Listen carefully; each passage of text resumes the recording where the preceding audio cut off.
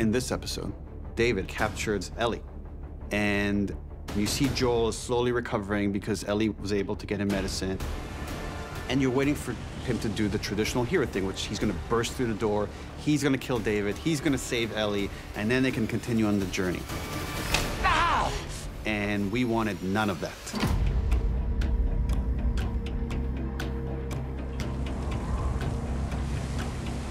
We think of it as our cold episode. That one was really cold.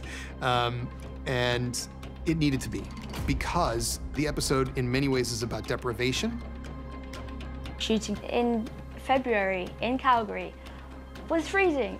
Obviously, also holding a freaking rifle up, so like a five-minute scene was tricky. And there was three or four house-size wind machines that were just pummeling me with snow. yeah, so that was hard.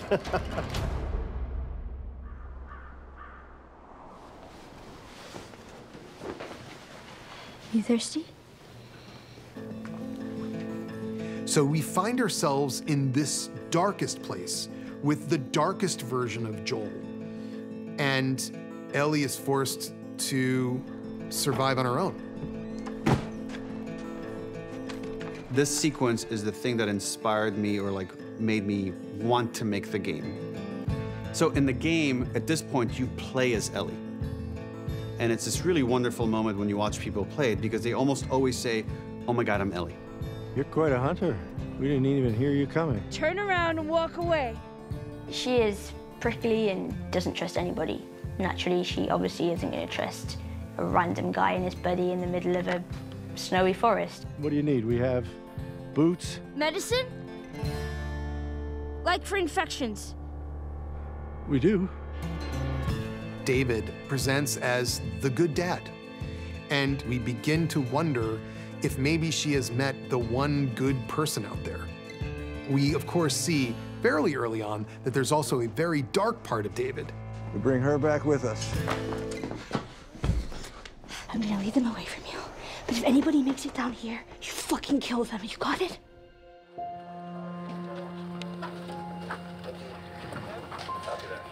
When he captures Ellie,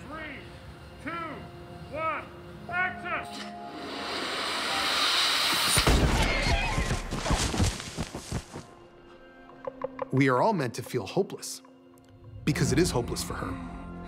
And we also come to understand two things that maybe weren't immediately clear.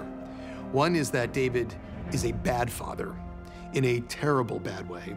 And the other is that these people that Ellie finds herself amongst have been eating their own dead.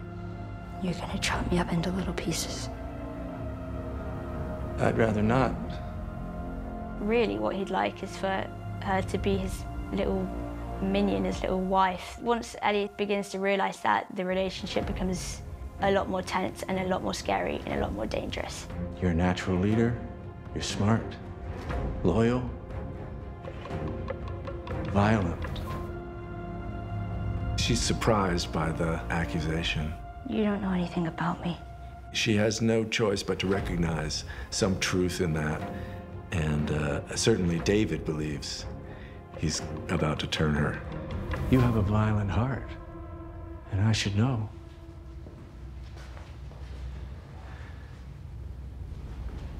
I've always had a violent heart.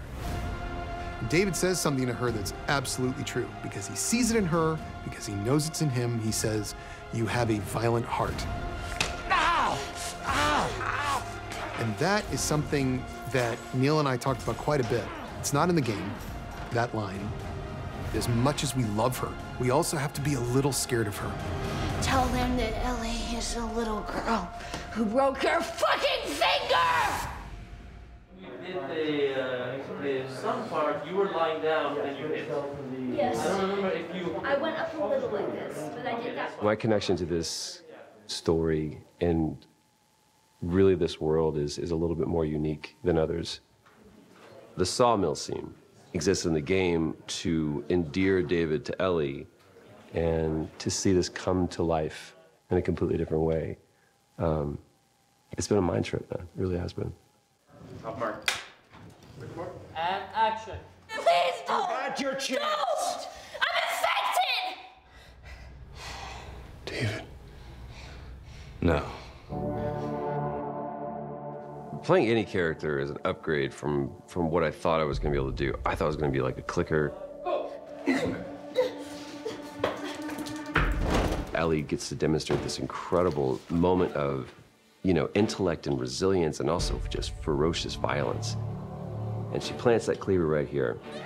And I slam up against the wall and, and I slump up against this thing and I slide down. I was like, that looks awesome. Ellie.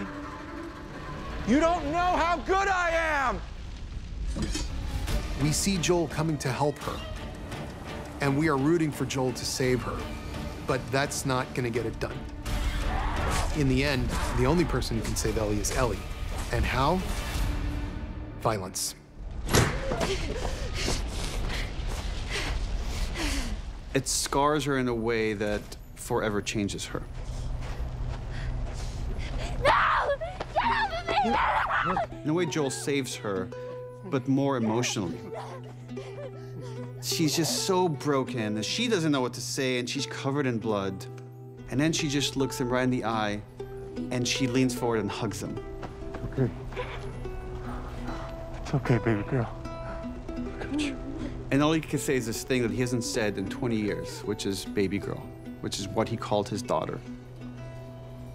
At the end of this story, you can see something snap in her. And the question is is it permanent or can she find her way back?